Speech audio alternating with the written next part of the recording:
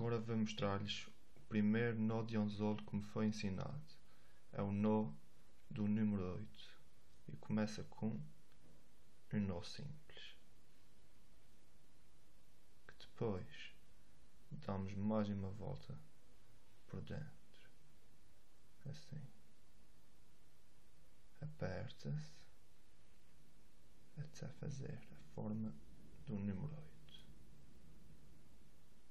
Agora passa-se o anzol por dentro de um dos orifícios do número 8, a seguir no outro, desta forma. Muito simples. Agora é só apertar.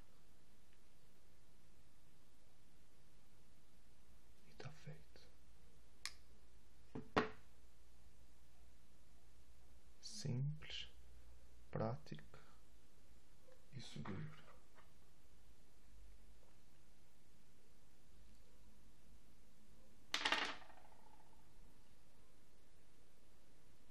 Aqui tem as duas voltinhas.